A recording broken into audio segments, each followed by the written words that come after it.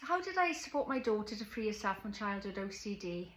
Uh, hi, I'm Julian. As not many of you who follow me will know by now, I supported a teenage daughter with OCD and I got to be honest, it's for the worst and most challenging years of my life. How did I eventually help her free herself? I stopped doing what OCD was demanding. I stopped giving reassurance. I stopped reacting to her OCD meltdowns. I tried not to take it personally and I tried not to get recruited anymore. It was a very gradual process because I'd become re recruited as well. I was under OCD spell as well.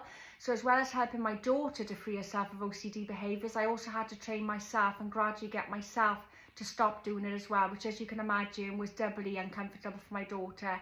And we did it through something that's called ERP therapy, which is exposure response prevention therapy. And I covered in my last video on here in depth how to actually come up with a plan with ERP therapy.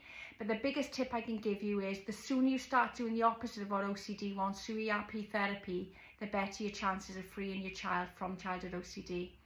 Hope this has helped. Don't forget to like and save my video if you found it useful. And don't forget to follow me for more parenting OCD tips.